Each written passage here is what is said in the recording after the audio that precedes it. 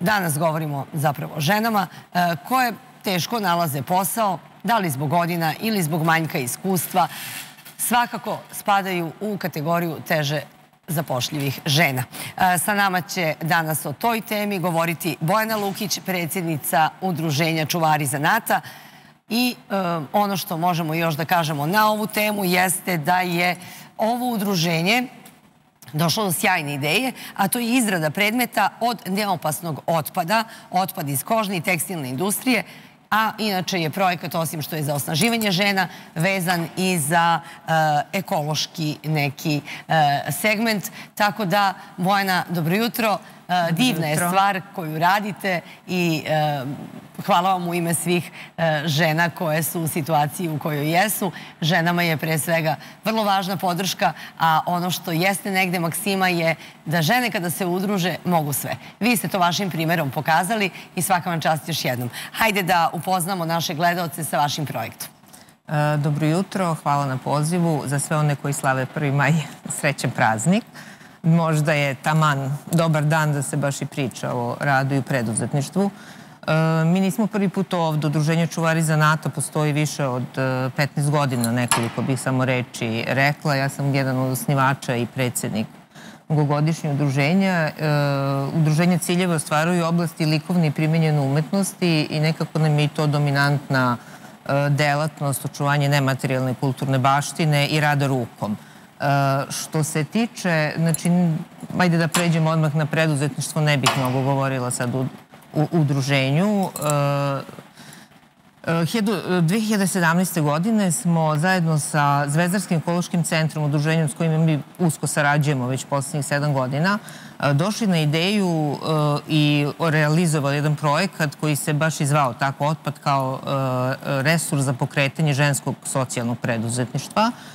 E, imali smo ideju da, znači, da koristimo zanat tehnike starih zanata, veštine rada rukom, ali baš onako izrade i ukrašavanja tekstila, pošto smo mi pretežno tekstili, da koristimo otpad, neopasni otpad iz kožne i tekstilne industrije kao resurs, znači da se ne kupuje materijal, nego da to bude osnovni materijal od koga će da se izrađuju uh, ukrasni predmeti koji imaju, mislim, na nivou suvenira. Eto, to nam je bila ideja i tada smo pokrenuli to uh, zajedno s Nacionalnom službom za zapošljavanje sa koje, nam je poslala, uh, bile pet žena na obuci.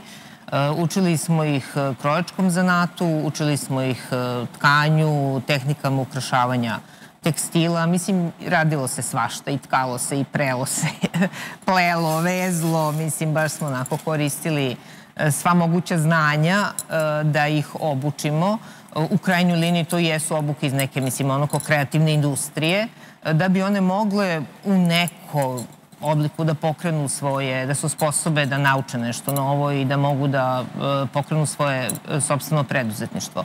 E sad šta smo kroz taj projekat mi naučili, e, s obzirom da je i za socijalno preduzetništvo, a i za ono zašto se mi konkretno zalažemo, zove se kućna radinost, potreba neki zakonski okvir, socijalno preduzetništvo nije baš do, kako da kažem, nije, nije do kraja pravno regulisano. regulisano, zakonski regulisano, to sad mislim nije, nije do nas, mislim nije do nas to je. Dobro. Ali smo uh, našli opciju da ono, znači to jeste takođe u našoj tradiciji, zove se domaća radinost. Znači uvek je bila, znači svaka kuća je za sebe proizvodila uh, potrepštine u smislu odevnog tekstila, u smislu ambijenalnog tekstila, znači sve ono što je bilo potrebno za kuću. Višak vrednosti se iznosio na sajmove. Prodavao se, menjao za neke druge proizvode i to je bio idealan oblik, postojale kao pravna forma je postoja u staroj Jugoslaviji, znači pre nekog rata koji vidimo 20. vek. Uh,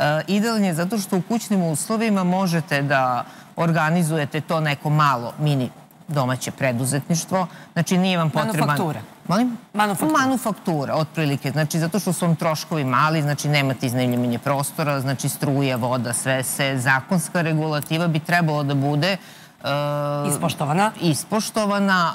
Znači, to je prvo suzbijenje sive ekonomije. Znači, ti si prijavljen, plaćaš doprinose, ali su doprinosi, imaš benefit na doprinose, svim što moraš, naravno, mislim, i neke zakonske normative da ispoštuješ. I to je dobra ideja da žene osamostalimo i da one zarađuju svoj novac na način na koji su, eto, uspele da nauče kroz, eto, to neko vaše udruženje. Jedan od načina. Tako je, jedan od načina, zato što ima jako, e, dosta ljudi, pogotovo kad govorimo o ovim teško zapošljivim grupama, to su pre svega žene, znači to su statistike, znači žene s malom decom, koje obično zbog tako, eto, mislim, ono, jednostavno vremenskog ograničenja, znači nemaju, nemaju puno radno vreme. Onda posebno uh, je problematična situacija u porodicama gde je dete sa invaliditetom, sa smetnjem u razvoju, sa zdravstvenim problemima, gde praktično, obično su to jednoroditeljske porodice, mislim, znači samohrani roditelji koji jednostavno nemaju mogućnost, znanje, vreme, šta god, da zarade dovoljno novca za svoju porodicu prehrane, da tako kažem, mislim, ono da materijalno obezbede. I e, pogotovo što sa, sa tim detetom koje mora da se kroz radnu okupacijnu terapiju mora da se angažuje, to je jako dobar način da u kućnim uslovima vi praktično opet organizujete ne, neko prihodovanje za porodicu, to je prvo, a drugo i da tom detetu obezbedite koje raste i imaće naravno neke svoje potrebe, mislim i mora da uči nešto novo, da mu obezbedite u krajnjoj liniji neku okupacionu zanimaciju. Mislim, eto, eto da to tako nazovem. E sad, mislim, ono, u Hrvatskoj je recimo 2013. godine e, vraćeno, e, kućna radinost je vraćena kao oblik preduzetništva sa kompletnom zakonskom regulativom i to je sad neka naša ideja zašto se mi konkretno zalažemo, zašto radimo i što mislimo da je dobar način da se taj problem reši. Mi smo sve objasnile vrlo lepo. Vi ste baš onako temeljno obradili ovu temu i vidim da, da vam je projekat uspešan.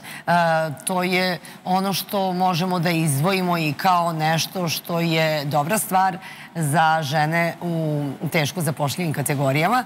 Pa bih samo za kraj ovog našeg razgovora želela e, da poručite nešto, našim gledalcima i da možda uputimo i poruku ženama e, koje još uvek nisu e, imale ideju kako da recimo sebi obezbede tu neku samostalnost kroz neki zanat koji, eto, kao što rekoste, može da donese određeni prihod i na neki način bude osnov za održavanje porodice u tom nekom ekonomskom smislu. Pa mislim, ono poruka koja je da, ne, da se ne odustaje. Jednostavno, za sve, sve negde može da se nađe rešenje koliko god da je teško. Jednostavno, dobra ideja, upornost daće rezultat u svakom slučaju. E, ono što čuvari zanata radi zajedno sa, opet napominjem, mislim, radimo zajedno sa Zvezdarskim ekološkim centrom, mi držimo i kurseve znači starih zanata, osnažujemo žene pre svega, mi pre svega radimo ipak sa, sa ženama da, e, da pokrenu to neko, da, da se one pokrenu, da se na neki način osamostale, tako da eto mogu i nama da se, mislim, ono jave da, se uključu u naše radionice koje ne obuhvataju samo to. Mislim, mi radimo i sa mladima, radimo i sa trećim dobom. Mislim, baš smo onako... Uh, široki spektar. Široki spektar, tako ciljna grupa su nam svi zainteresovani da, eto... Hvala vam još jednom što ste bili gost ranog jutra i hvala vam što kroz vaše udruženje čuvate i kulturu i tradiciju Srbije kroz uh, kao što ime kaže udruženja čuvari zanata. Znamo da su ti naši zanati ovaj, odhranili mnogi generacije, a Tako kako je. vidim, e, sve se više vraćaju.